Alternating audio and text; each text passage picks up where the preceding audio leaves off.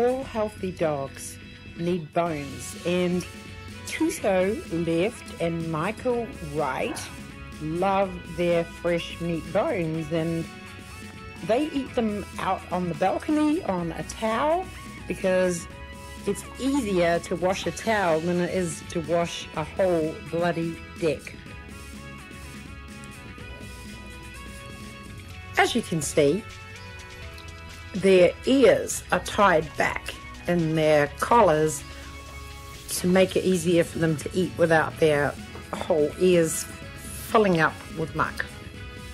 Are you enjoying your meaty bone, Tito?